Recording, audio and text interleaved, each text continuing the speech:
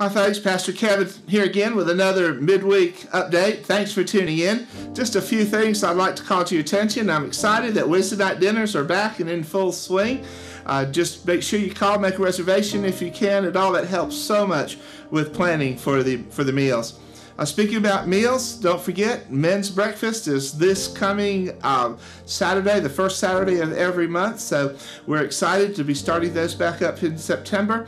And uh, again, if you can make a reservation, that is be wonderful. It helped Gloria so much. Again, planning for the breakfast. We're going to have a very special guest with us. We're going to talk about some of the new things that are going on in our community and about some outstanding opportunities.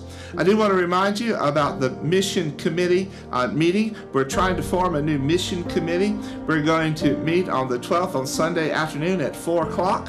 Uh, and I want to invite you to be there. We're going to talk about, like I said, new opportunities in our community, some of the old things that we've been doing, uh, all kinds of opportunities that are coming.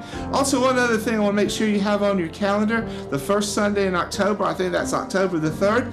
Uh, put a save the date sticker on your calendar. That's going to be our church picnic. And we'll be meeting at Roselawn as we have the last few years. Uh, we'll gather about 5 o'clock, we'll eat about 6 o'clock. There'll be uh, some uh, singing, some uh, fellowship, some great food. Uh, so, more details about that coming. But first Sunday in October, our church picnic. Make sure you put a save the date sticker on your calendar.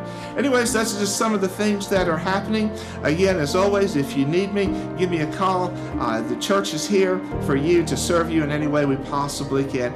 God bless you again. Please be careful. Please be careful. That virus is still out there and it's still very, very dangerous. Again, God bless you all. I'm praying for you, and I just pray that God will bless us and help us to do our very best for Him this day. See you soon.